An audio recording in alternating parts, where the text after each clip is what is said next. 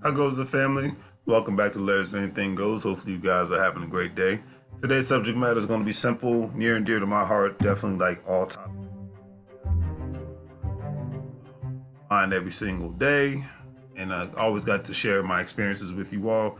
Let's talk about families contributing.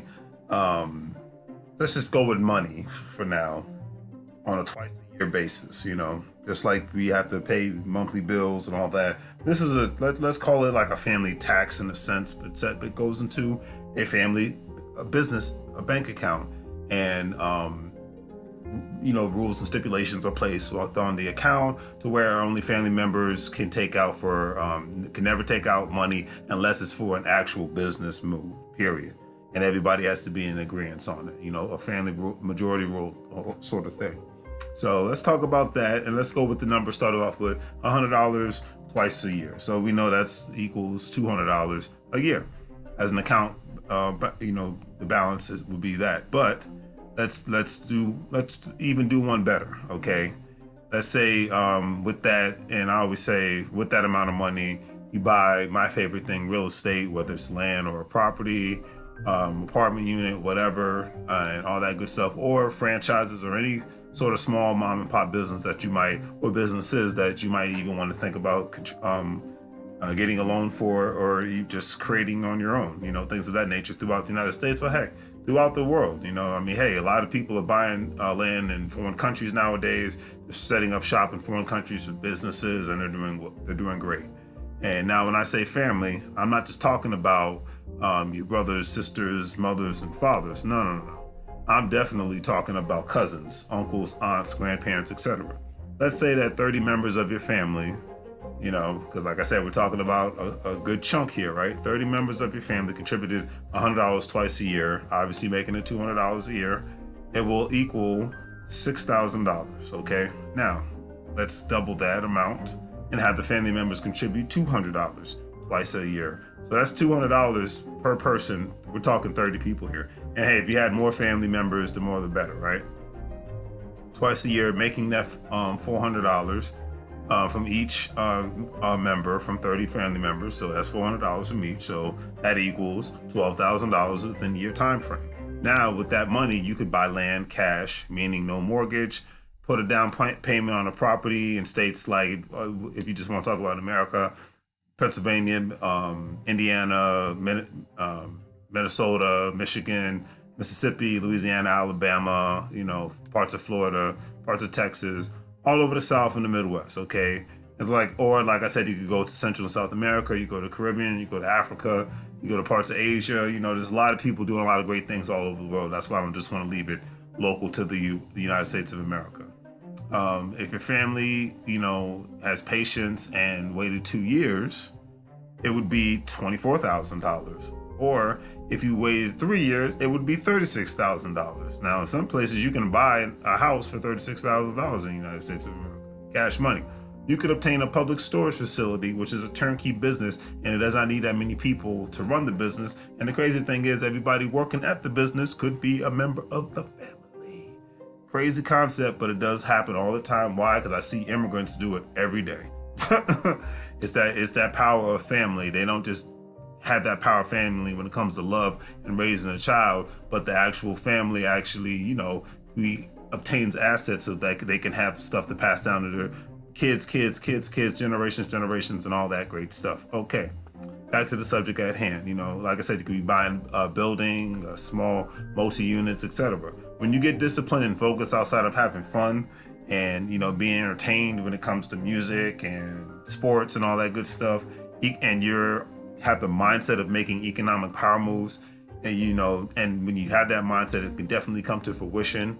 You know it's a it's a beautiful thing if you really want to have that mindset and if you want to get into the land of implementation. That's all i can say on that one you know in, implementation and then obviously, you know, I'm a big fan of reading. I read a couple book pages out of a couple books every day. So feed your mind, especially if you're a person who works out a lot. You do a great job of working out with your body. You definitely have to work out what comes to your mind outside of your job and outside of your family. Just a person. People spend about 100 to 200 to 400 dollars within a couple of months on nonsense all the time. So imagine the possibilities that can change the financial outcome of your family's name. Now, I'm not going to say that for some people, 100 and 200 dollars or 400 dollars isn't a lot of money.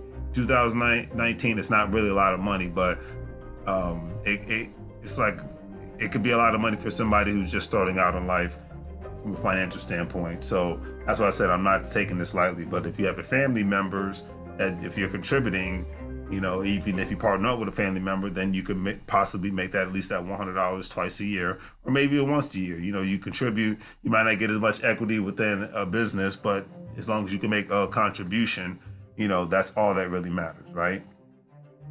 So I just I just leave it at that. Okay. Here's the other great thing about obtaining great assets like this. You know, real estate franchise, a small family business. You can take equity out of your property or potential business and do it all over again.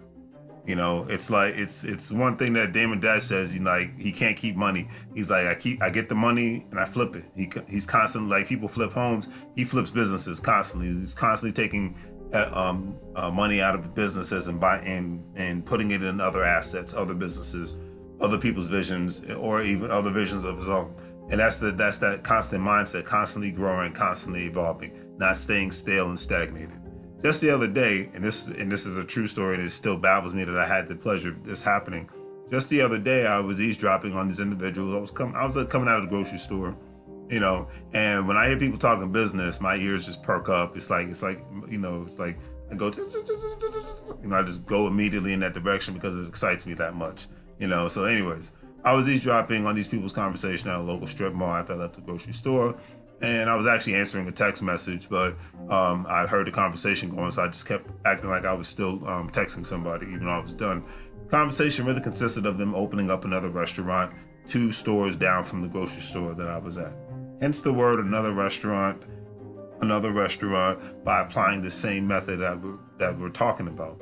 And these three gentlemen couldn't have been more than 80, 80 48 years old um, it looks like um, two of them were like in their 30s and one might have been in his late 20s. They're constantly reinventing themselves, and you should constantly reinvent yourself all at the same time. It just goes to show that you're never too old to start something new again in life. Two of these gentlemen are brothers, and the other one was their cousin. Okay, this is what the power of family, my friends, really means. Then um, I'll do you one better, and I'll do you one better. In 2019, $40 is nothing when it comes to money. Now, like I said before, now $40 is a lot when it comes to money in 2019 to you. Either you're fresh out of high school or you're homeless. And I'm not saying that to be sarcastic. I'm just saying $40, a lot of people can barely fill up a gas tank anymore. So $40 is nothing anymore in 2019 and, and, and beyond, you know. Like most people's grocery bills are a hundred and some dollars nowadays. That's why I said forty dollars is nothing um, when it comes to money if you donated forty dollars to the family bank account, you know they call family banking is a big thing amongst immigrants, and I think more Americans should practice family banking on um, some sort of a level. Not all of the money, but just some sort of a level to where there's money specifically for family businesses. But that's another story.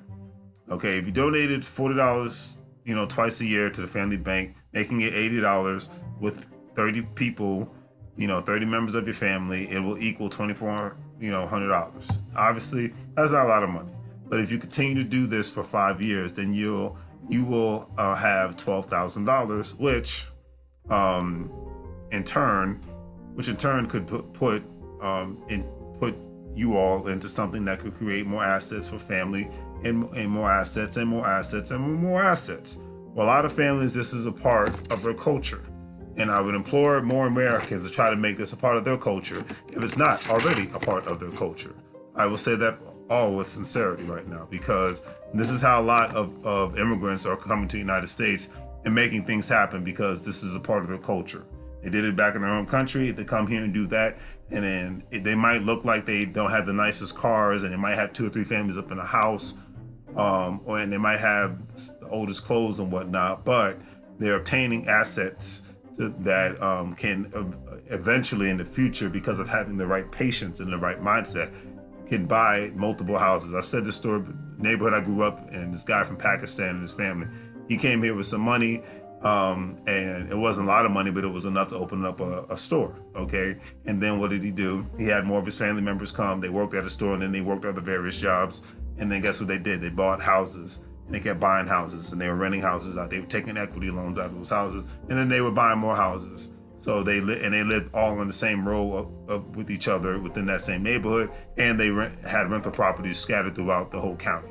So it's having that mindset, especially you just need that one person to bring the idea to the table, and then everybody else to add their two cents and then go from it, and then bring it to fruition. Okay, but it's a, I, it's it should be a part of our culture, but it's not. It's American culture actually frowns upon this, you know, village mentality, which I think it's working. It worked during the before the recession. It worked during the recession. And it's definitely working after the recession from an economic standpoint. For those pe- people who are working people who are putting their dollars and cents together and continuously flourishing and flourishing. I wish this was a part of my family culture, but that's another story for another day. More families could obtain wealth if they started what people call a family bank. Period. You know, the economic game really consists of it really consists of time, discipline, and continuous effort, engagement, and a real vision to succeed. Those five specific things. You know, so I challenge you. If there isn't a part if if there isn't um if this isn't a part of your family culture, let's just keep it simple. If this isn't a part of your family culture, then try to break out of the you are on your own nonsense and actually pull resources together. If you apply these principles into your family and this continues for generations, then small amounts of wealth can be obtained for generations to come. I've seen where families they lived in the same house, and guess what? They got a karate studio. And they, matter of fact, they share their business in the same building. Got a karate studio and a, and a, um, a, a, a pet uh, care, basically where they um, they basically babysit um, for the, uh, people's pets, and they actually do grooming and whatnot all at the same time. So you got the karate studio on the front, on the on the top floor. On the bottom floor, you got the doggy daycare. Two businesses in one building from one family.